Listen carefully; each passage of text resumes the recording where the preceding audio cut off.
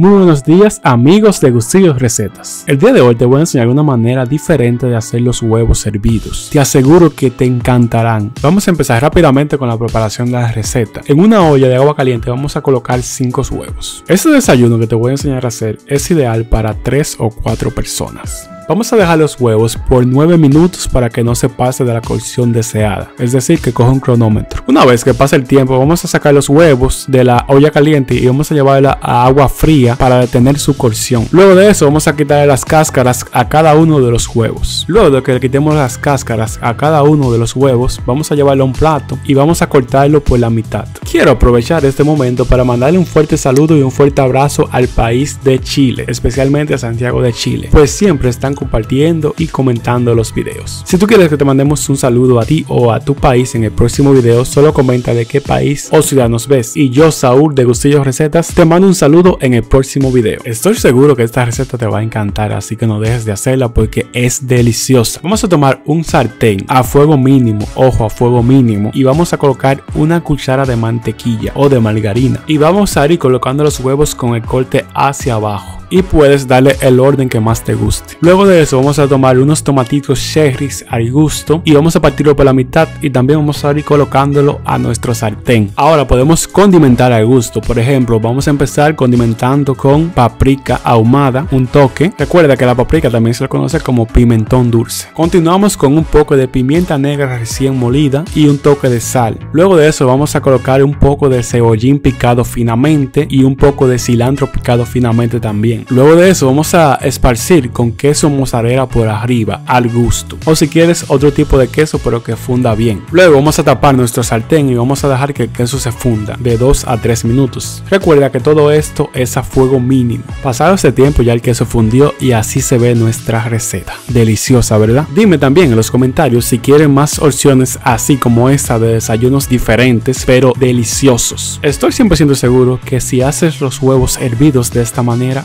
nunca vas a hacerlo de la otra manera. Para el acompañamiento de nuestros huevos podemos utilizar unas hojas de lechuga condimentadas con sal y un poco de aceite de oliva. Muchas gracias por vernos. Recuerda que yo soy Saúl de Gustillos Recetas y dime en los comentarios también si harás esta receta. Recuerda que puedes buscarnos en YouTube como Gustillos Recetas y en Facebook como Millones de Recetas Caseras. Estamos creando un video diario para ti, así que no te lo pierdas.